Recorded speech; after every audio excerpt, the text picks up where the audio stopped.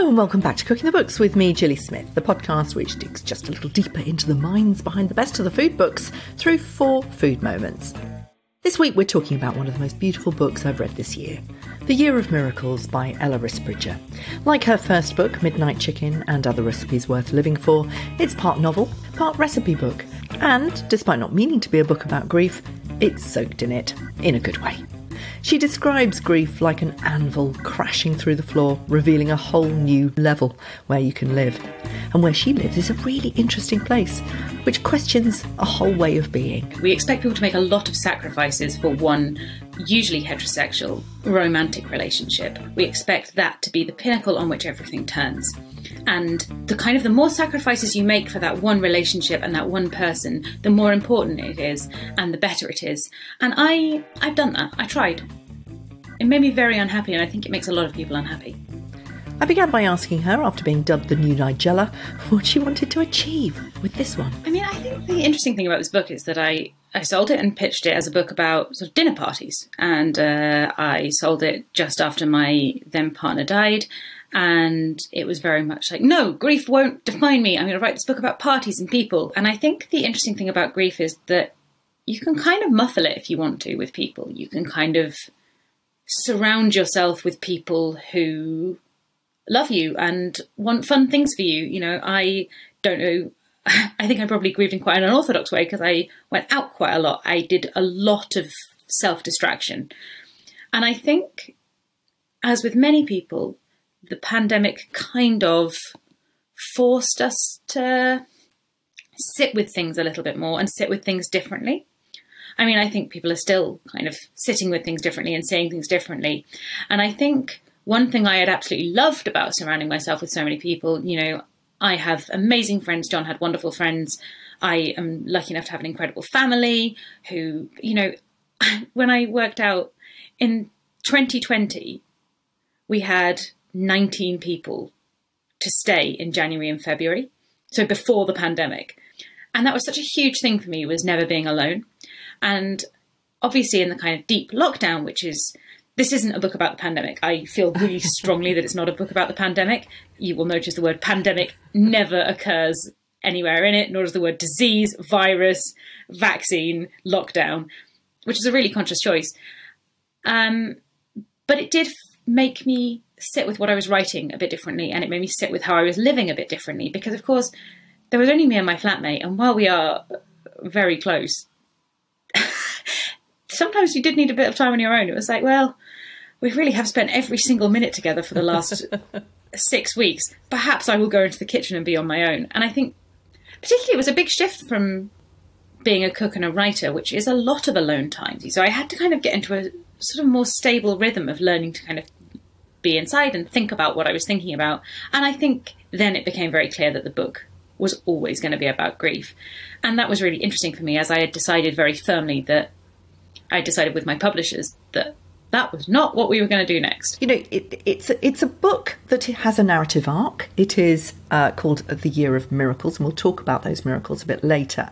But it is a, a process of recovery. It was it always had to be. It's about starting life again, isn't it? It's about feeding yourself from the foods and the fruits that you're growing yourself. It's very nourishing. Is that how you pitched it? What was what was the sixty word pitch? What happened was I'd written a piece for the Guardian about friendship after my then partner died and how sustaining I'd found it and how nourishing I'd found it and how I had found it to be a family in a way and to be every bit as crucial and satisfying as kind of traditional romantic relationships. And so I think I've never written anything that people have responded to more. You know, I know somebody had it at their wedding. I know lots of people for whom it means an awful lot, that piece of writing.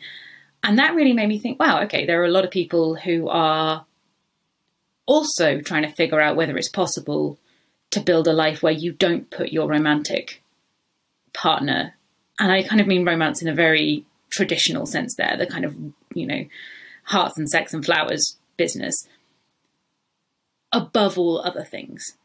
And so that was kind of the heart of the book I pitched Bloomsbury. And I think it's, I hope, sincerely hope, it's still at the heart of this book now.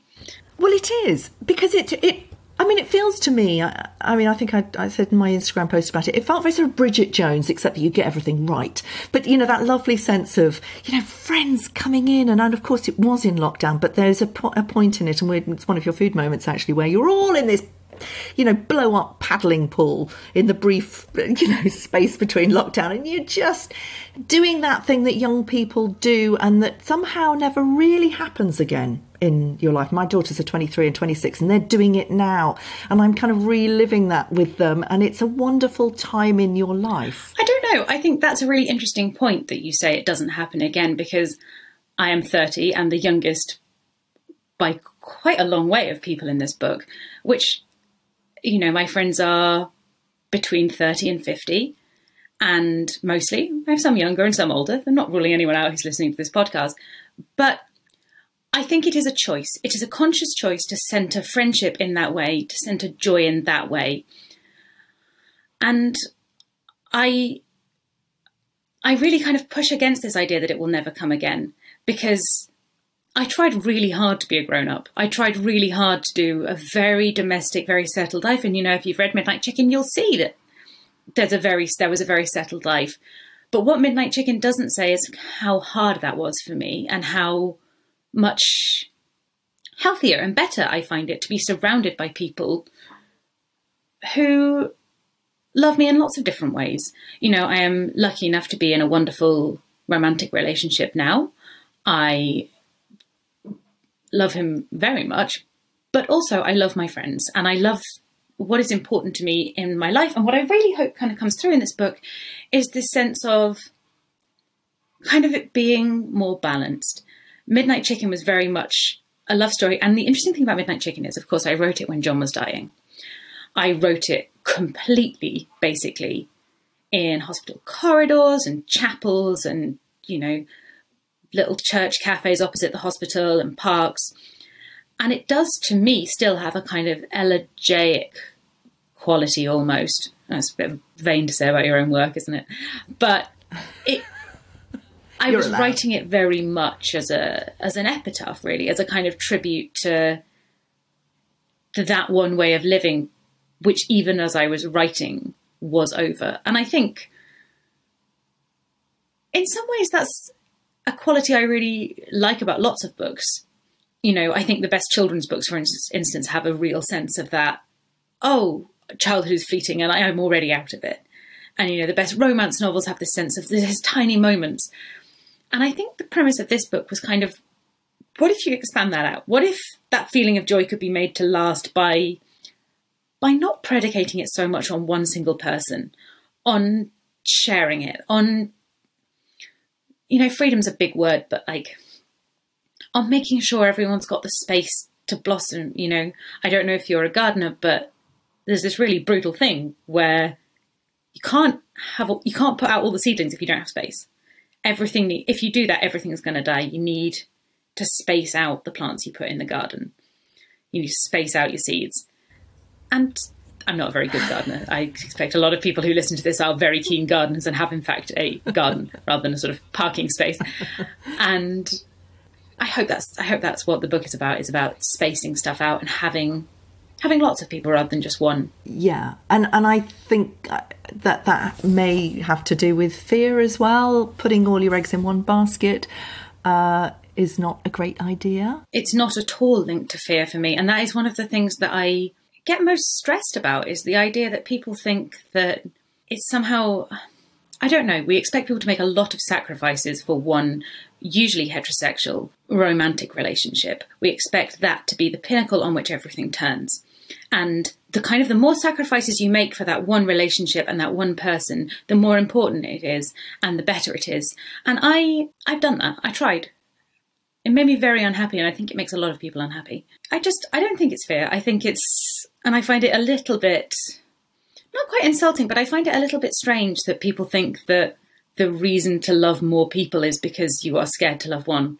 It doesn't get less scary. It's always a leap of faith. I just think that we can take those leaps of faith with our friends. I think that you know friendship has become a really interesting talking point uh, since lockdown. I think people have made a lot of conscious decisions about who their friends are and how they want to be friends with people.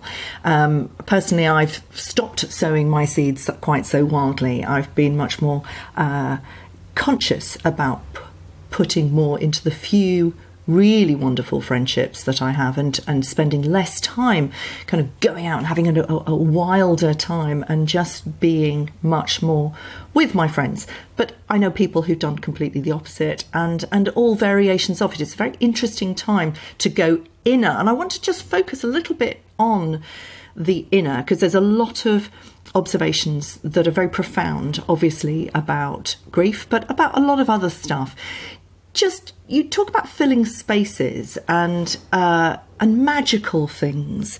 You talk about the kaleidoscope of grief, for example, which is about the fragments of of thoughts and memories and colours and and things that can only come from a very vivid imagination, and that takes a moment to set aside to, to be by yourself.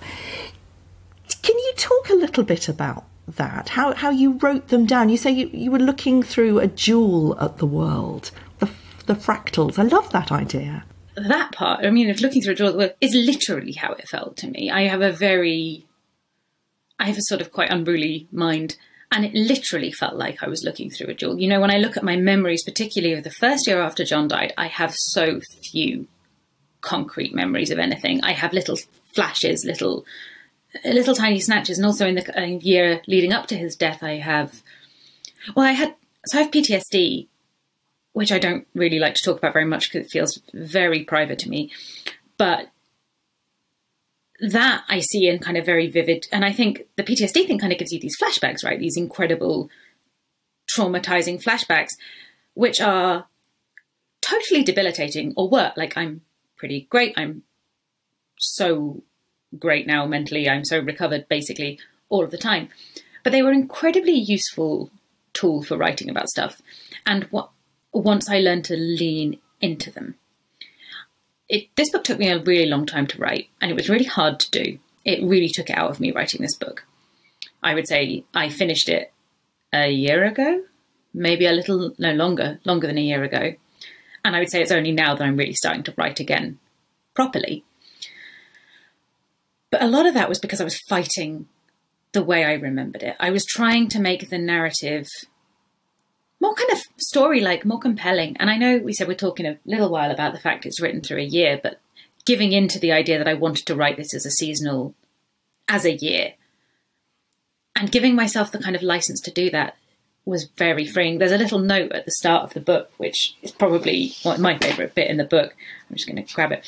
Um, which is this is a memoir, which is to say it's a kind of fiction. It's what happened as it happened to me and not as it happened to anyone else. Some events have been compressed, most names have been changed. And once I gave myself permission to use, to say that, to say it's fiction, I made it up. Uh, you know, I didn't make it up, it's what I remember, but I was so consumed with trying to tell the absolute truth in a way that nobody could argue with that, yeah, it was paralyzing. And so once I started being able to write about things as I saw them through this kind of kaleidoscope or this jewel or this prism, you know, when I was a kid, my granny had this, you know, the kaleidoscope and you like spin the end and the little beads all rattle around and you can kind of see the different light and shadow that's mm. happening around, but you can't see, you can't see things. You just see flashes of colour and kind of looking at stuff through a jewel, you know, with the many facets and you kind of catch the light and you catch this burst of colour and you catch this face maybe in like weird sharp relief. And that I think was giving myself permission to write in the way that I had seen the world and continue really to see the world. You know, I don't think it's very hard to know if your mind ever really goes back to how it was before. I'm certainly completely changed as a person because of uh, John's life and John's death and grieving John. And I think maybe it sort of just broke my brain a little bit. It broke my brain so that now I find it very difficult to see things not through this kaleidoscope. I would say now I have a much better grasp of what's going on than I did. You know, in the first year, two years really after John's death, it was a total whirl of no idea what's going on. Yeah. And the same goes for the years in which he was dying and I was looking after him. Total whirl, total chaos.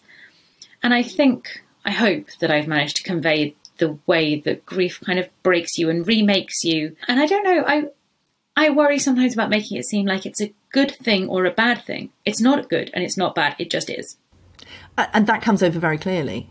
And one of the other things that you say is that you write yourself real. You don't use that phrase, but you, you write to give yourself edges.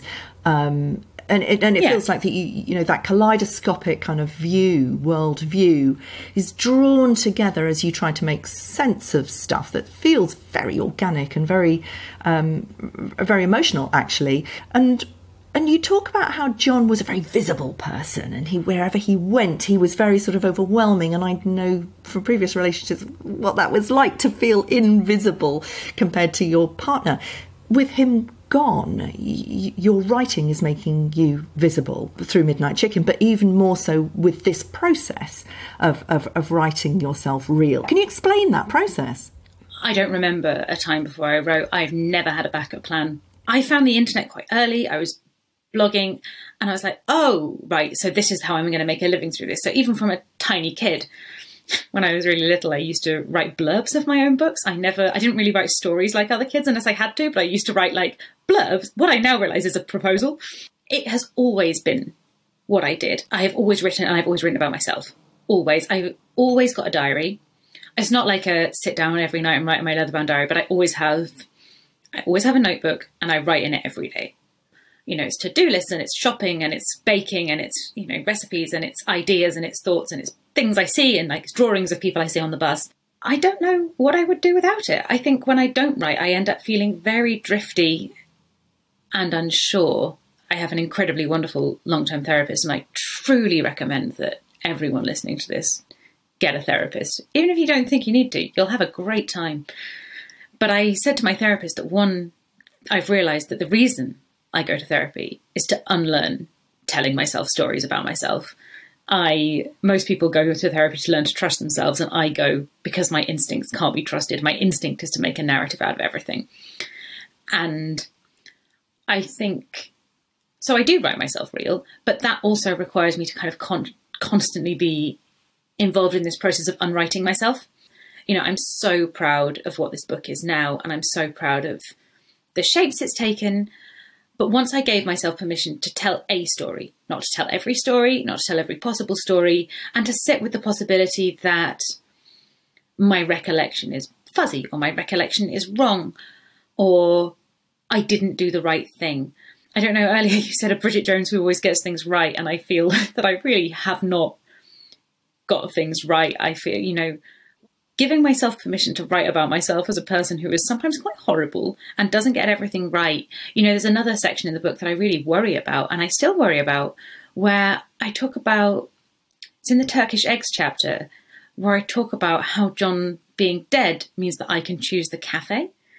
And it was, I dithered a lot about putting that in. I dithered, I went back and forth because it's, it's brutal to be like, well, one, upside of the person I loved more than anything in the world being dead is that I don't have to go to a greasy spoon. I can, in fact, go and get Turkish eggs and Turkish coffee. And I wanted to kind of show in the book how complicated things are. And that wasn't probably a nice emotion for me to feel. But also, it was true that he was in a wheelchair and didn't have a lot of time left to live. So really, just suck it up and go to the greasy spoon. and I wanted to convey the complexity of of getting things wrong and being not always your best self and how how being in difficult situations and grieving and pandemics and lockdowns and don't always bring out the best in people, including me. I worry sometimes that so many cookbooks are so beautiful and glossy that people will think that everything's nice. Your first food moment is is sort of a, a counter to John not being there. It is about corner shops. You, you talk about how John, when he went into corner shops, everybody knew him everywhere. And so you were sort of dwarfed by him being known everywhere. But you can now go in and claim some spaces that weren't yours before. I'm just I'm just in love with corner shops. I mean, I think we'll talk a little bit later about how much I love foreign supermarkets, but I absolutely love corner shops. I love London corner shops. It's one of the one of the things keeping me in the capital, even though it's crazy expensive and uh, I can't have a garden or any chickens. Um, is corner shops and the massive range of corner shops too, and the way there's this incredible. So I live in Lewisham. I absolutely love Lewisham. I'm a real Lewisham evangelist in southeast London, and we've got this thing called the Lewisham Food World Food Centre, and you can buy everything. And it says on the front, it's got a massive list of all the countries where the food comes from. You can go get this fresh Turkish peed. I don't know how you pronounce it. Peed. I don't know. Um, the soft Turkish bread that comes in big long loaves. Obviously, people on the podcast can't see, but I really am gesturing at a huge loaf here. Um, but also things, and so it's like things like that, and lots of vegetables that you don't get maybe in the supermarket, though you do kind of in the supermarkets around here because they've kind of picked up on the fact there are lots of different cultures and lots of different people buying stuff in Sainsbury's. but you know, you can get like not that I have, but you could buy a whole sheep's head, yeah. which is you know, it's, it's startling to come face to face with a dead sheep. I have always been very aware of where food comes from, and I feel like sometimes in big supermarkets you can be less aware of that. And one reason I really like going to different kinds of butcher shop, for instance, is because it's like there's a sheep's head and there's its insides and there's its It's real and it's alive. Or it's not. It's real, but it's it's part of the process of living and dying, which is so much a part of kind of coming, get, kind of getting to grips with the idea that death is part of life and life is part of death and they're the same thing and it just keeps going. And also, I love that you can do that and at the same time you can walk into the corner shop and buy like a big tub of Betty Crocker frosting.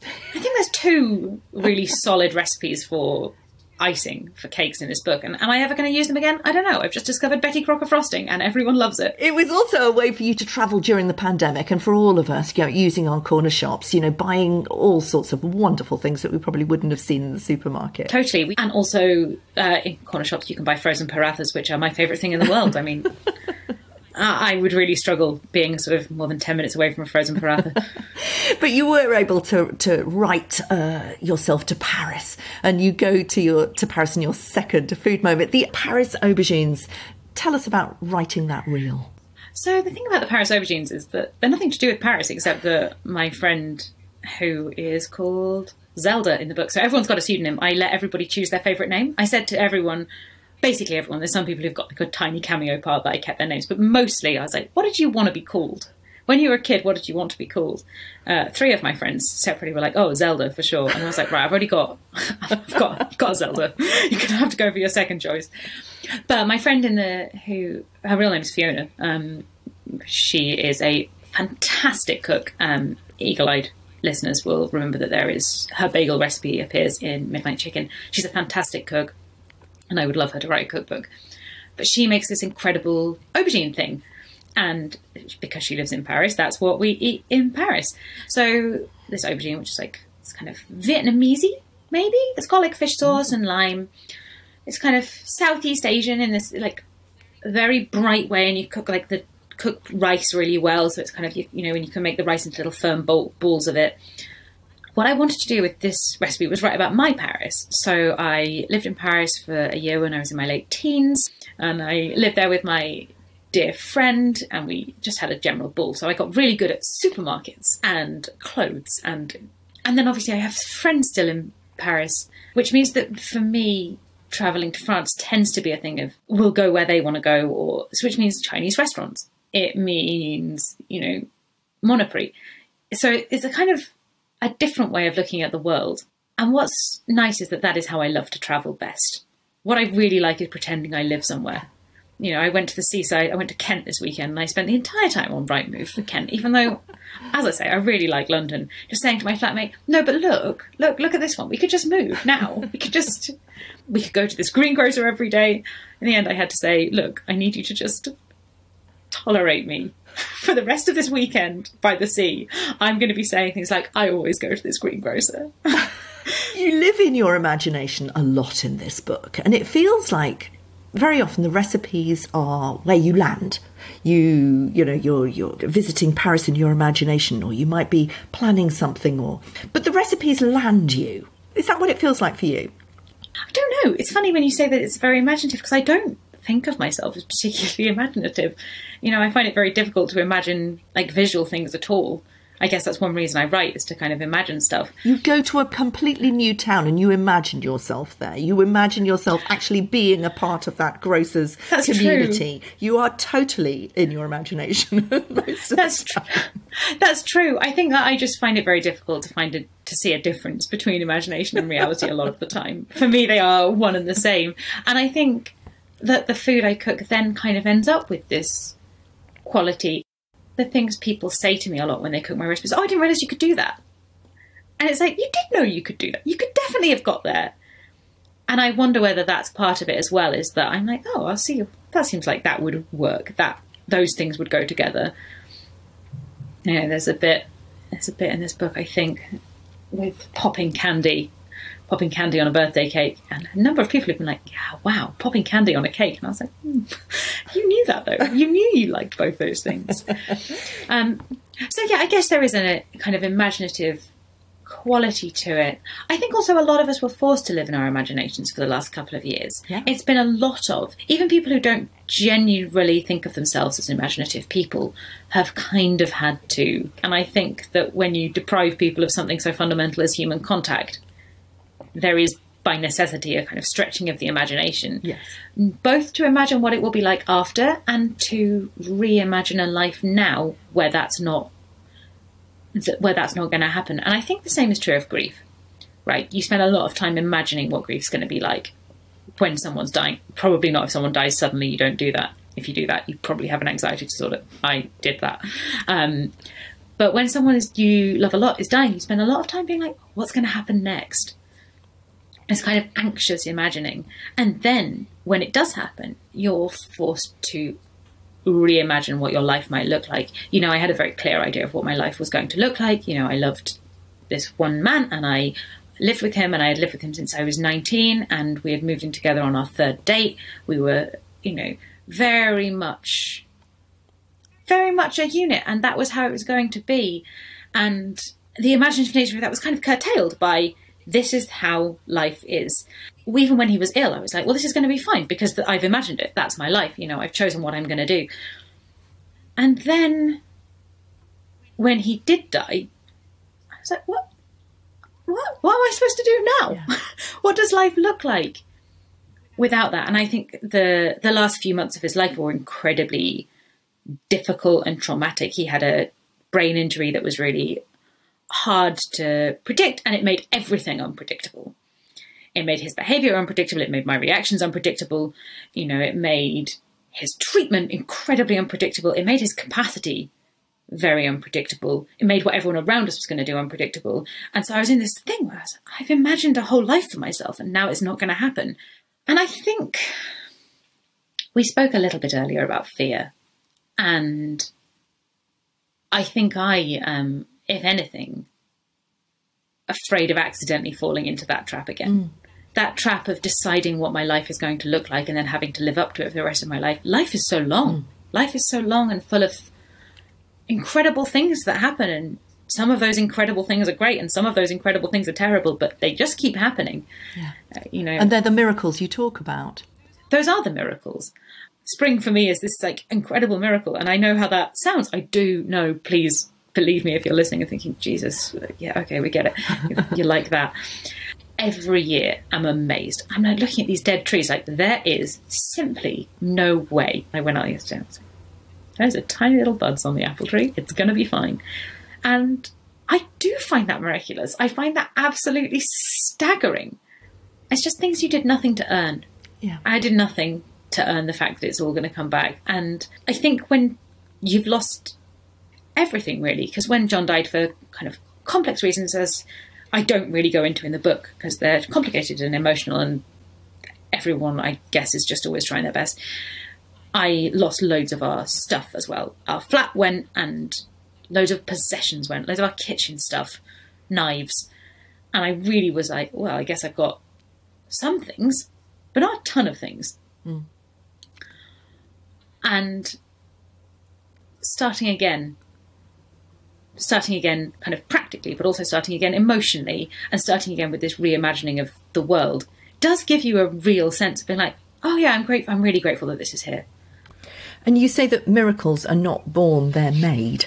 And it feels like that that, that narrative arc leads to a, a landing place. If grief is about spinning out of time and seeing things in fractals and memories have different time lines, one day you do land and you and it, you become present. And I wonder if that is the essence of the miracle for you, becoming present.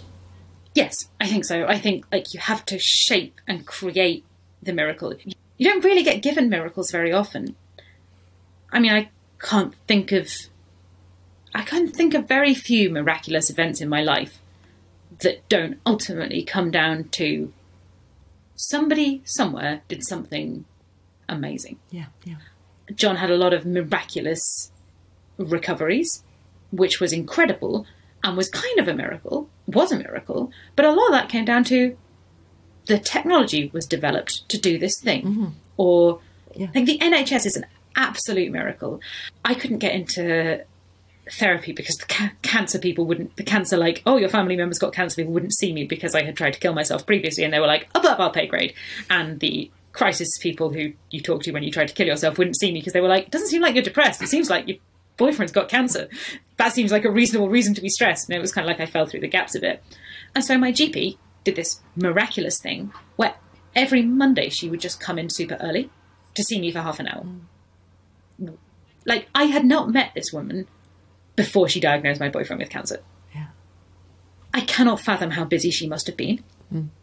She would like come in early to see me to check I was okay, and then she moved heaven and earth to get me a counsellor again through the NHS. And that counsellor was incredible and wrote me a prescription to have a gin and tonic every day, which is still the funniest like prescription I've ever been written. And he was just like, I don't think you're going to get through this without a drink. I don't think you're going to go to sleep with unless you have a drink. And I was like, you're right. But those are miracles, right? Every single step in that process is because people were making active choices to do stuff to make my life better. There's a moment in the summer, and it feels like a huge breath of fresh air. Lockdown is over. There's that moment where you can get together and have a party. It's only in your tiny little parking space in your back garden, but it is a glorious party. I wish I'd been there. Tell us about it. It's a three person party, uh, which is me, my flatmate, and our, my best friend. So I just bought this unicorn paddling pool, which is, I would say, big enough for one adult to sit in if they're happy for the water to come up to their hips, two adults if they're incredibly close friends. I'd say three adult women is really pushing it. You probably remember that the summer of 2020 was crazy hot. It started in yeah. literally April and went on forever.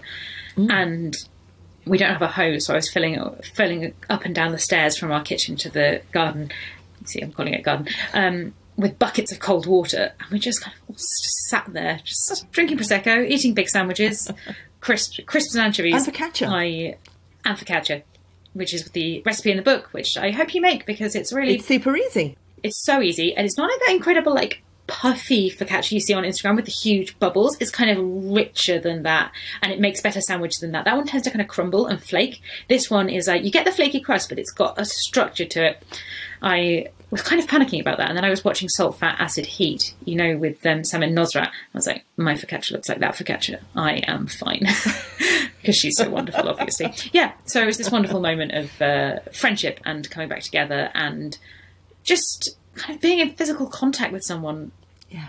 Was so nice. It is euphoric. It's euphoric, and it and it also kind of it in the narrative of the book. It it plays a part in kind of popping this sort of very kind of. It, I mean, it's not a a, a, heavyweight book. It's really not. It's very funny. It's beautifully written. It's very vivid.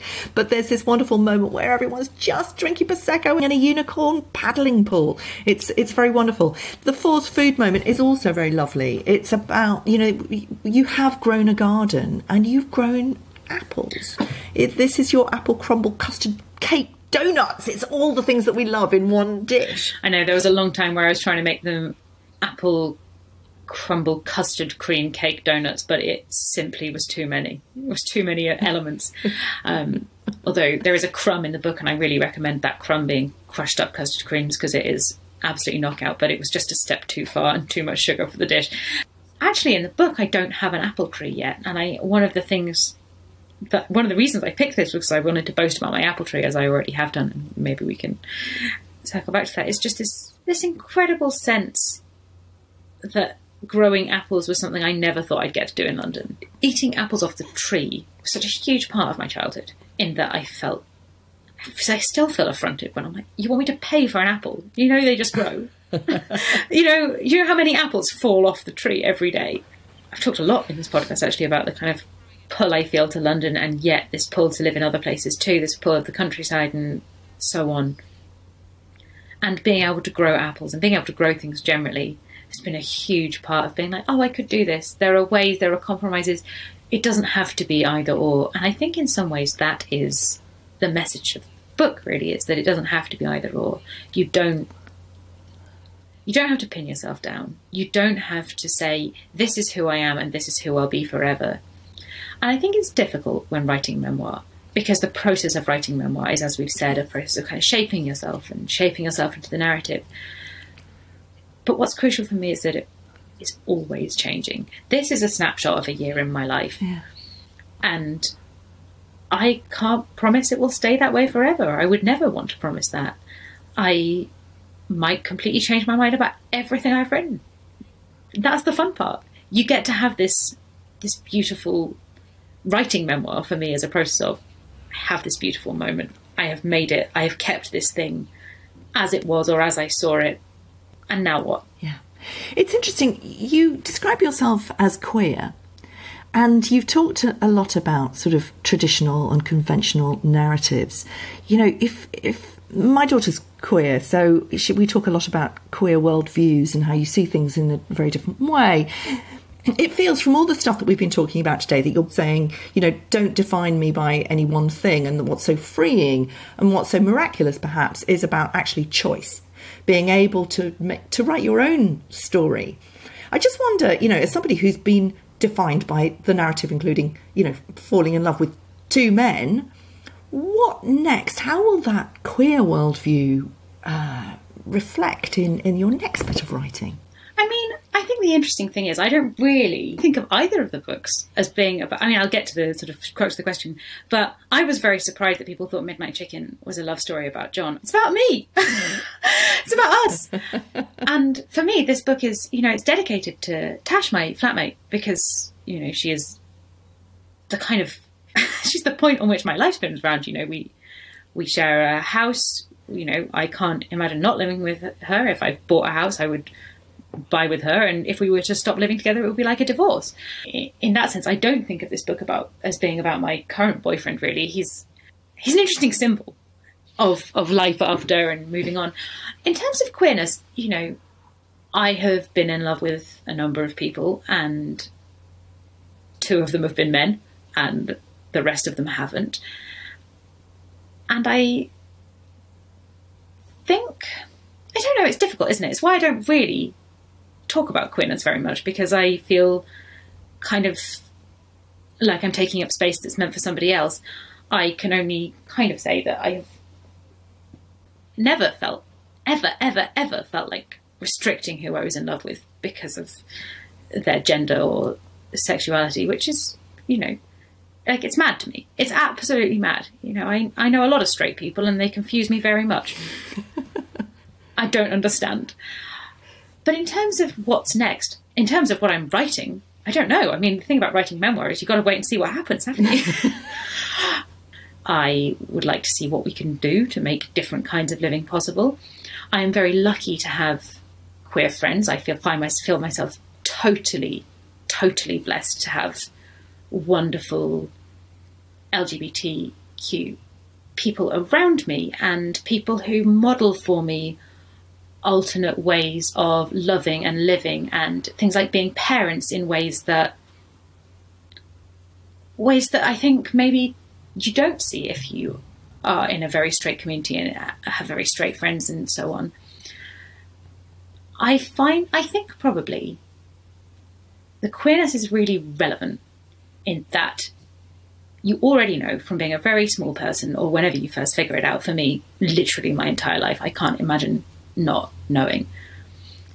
That the world is gonna you're gonna have to change some things in order to get what you want. That you are already outside the rules. And i think i really fought against that in my 20s and i think midnight chicken is kind of a fighting against that having had a quite queer queer late teens and you know having been in love with all sorts of people and I really fought against it. I wanted to be normal. I wanted to be like everyone else. I wanted to play the game and win by the rules that I knew were the rules because I had fallen in love with a man. And I think one of the incredible things about where I am now is that I don't feel that same pressure to live to live necessarily by by that playbook. And that doesn't mean I won't but I would like to go into it with my eyes open. You know, like, no one knows the future. I don't know what I'm going to write. You know, cookbook three, maybe I'll get married to a man and have some babies and live in a little cottage and get a puppy. That sounds nice too.